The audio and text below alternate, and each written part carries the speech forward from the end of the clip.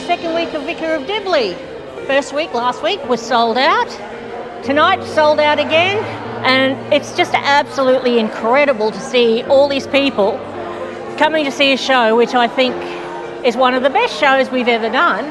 It's something that Sandgate Theatre definitely needs, and as president, I'm so happy about it. Can't wait to get up on stage and sing and be part of this madcap show.